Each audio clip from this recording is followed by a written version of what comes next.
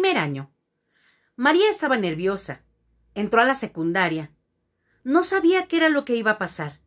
¿Quién diría que haría amigos entrañables y aventuras que jamás se imaginó?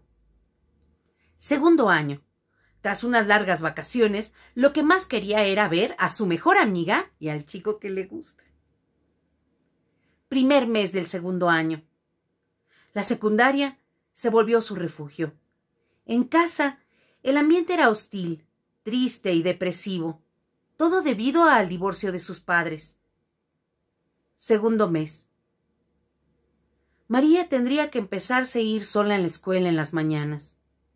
Lo bueno es que su madre había encontrado trabajo y no tendría que usar esos zapatos rotos. Octavo mes. Las mañanas de invierno se ponen muy oscuras. Segunda semana del noveno mes. Ese día, por la mañana, cuando iba caminando, un auto se acercó a ella. Abrió la ventana y empezó a decirle palabras obscenas e insinuaciones sexuales. A María le dio miedo. Empezó a caminar más rápido. El tipo del auto también empezó a andar más rápido. Y entonces María corrió, corrió, corrió hasta que llegó a la escuela. Lunes siguiente. Nuevamente se fue a la escuela. Caminaba como si nada. Nuevamente, un tipo en un auto bajó la ventanilla y empezó a seguirla. Empezó a decirle groserías y obscenidades. A María le dio muchísimo miedo. Así es que corrió, corrió, corrió, corrió hasta que llegó a la escuela. Martes. Cambió de ruta. Caminó cinco calles más. Se alejó, casi rodeó toda la colonia.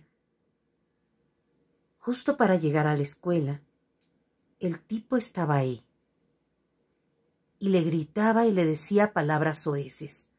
Entró corriendo a la escuela y rápidamente le llamó a su mamá y le explicó qué es lo que pasaba. Miércoles.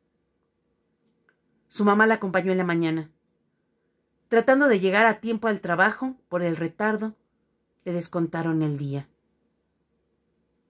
Jueves. María absurdamente tomó un taxi para ir a la secundaria que estaba a solo tres calles de su casa.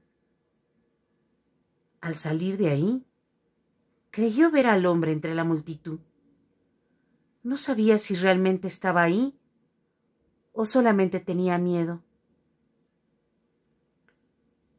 Al día siguiente, volvió a llegar en taxi. Y al salir de la escuela, tranquila y feliz, entre la multitud, el hombre se acercó a ella, la tomó, la agarró de la boca, la metió al auto. María trató de salir, dejó un zapato, la mochila, el hombre la metió en la parte de atrás, la encerró